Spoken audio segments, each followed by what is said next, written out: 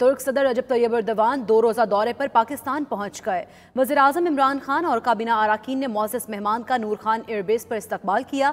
وزیراعظم خود گاڑی چلا کر ترک صدر کو ایوان وزیر اعلیٰ لائے۔ ترک صدر کو وزیراعظم ہاؤس میں گارڈ آف آنر بھی پیش کیا گیا۔ مسلح افواج کے چاکو چوبن دستے نے معزز مہمان کو سلامی دی۔ ترک صدر اور وزیر اعظم عمران خان کی ون آن ون ملاقات ہوگی۔ ترک صدر کی صدر مملکت عارف الوی سے بھی ملاقات ہوگی۔ رجب طیب اردوان کل پارلیمان کے مشترکہ اجلاس سے خطاب کریں گے۔ وفود کی سطح پر مذاکرات کے بعد کئی معاہدوں پر دستخط ہوں گے۔ اس پر بات کرتے ہیں اپنے نمائندہ فہیم اختر سے۔ فہیم اختر، آج کی کیا مصروفیات رہیں گی؟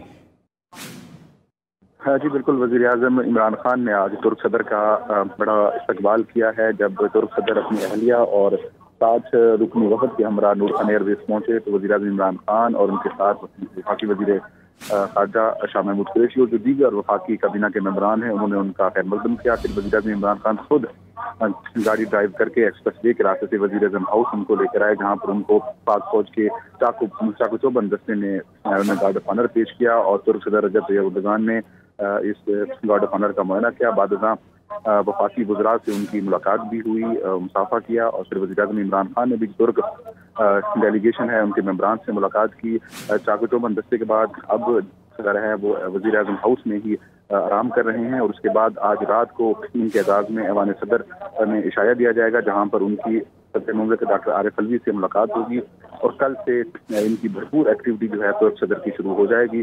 کل پارلیمنٹ کے مشترکہ اجلاس سے بھی ان کا خطاب ہوگا۔ اس کے بعد جو وفود کی سطح پر جو مذاکرات ہونے ہیں، وہ بھی ہوں گے۔ مفاہمتی یاداشتوں پر دستخط بھی کیے جائیں گے اور معاہدے بھی کیے جائیں گے۔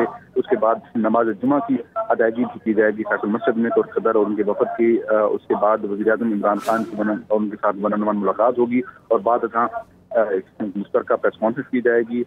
کل ہی پھر ان کے اعزاز میں اشاعہ دیا جائے گا وزیر اعظم کی جانب سے۔ اس کے بعد ترک صدر اپنا دو روزہ دورہ مکمل کرنے کے بعد پاکستان سے واپس ترکی روانہ ہو جائے۔